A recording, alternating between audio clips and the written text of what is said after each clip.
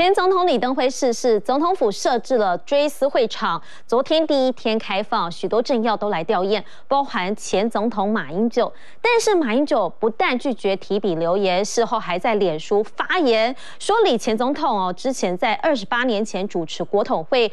呃，通过关于一个中国的意涵决议，确立了九二共识基础。但是李前总统生前亲口说根本没有九二共识，因此马英九这个说法被批评说不厚道，根本是在消费李前总统。台北宾馆大门还没开，也不管天气再热，大批民众还是戴好口罩，安静排队。这里是前总统李登辉追思会场，人潮绵延超过一百公尺，而监察院长陈菊也现身。李总统的生日，大概蔡总统都会记得啊。总统，诶，整个总统就会准备他们自己那种鸡汤。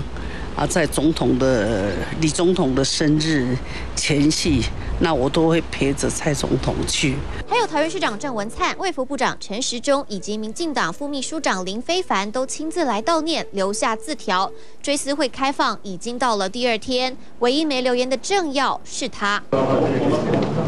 但几个小时后，前总统马英九就在脸书发文，表示二十八年前此刻，也就是一九九二年八月一号，李前总统在台北宾馆斜对面的总统府主持国家统一委员会，通过关于一个中国的含义决议。这项决议为两会达成一中各表的九二共识奠定基础。但李前总统生前已经多次公开驳斥，没有那个九二共识啊，哪里有共识？九二共识是是写在哪里了？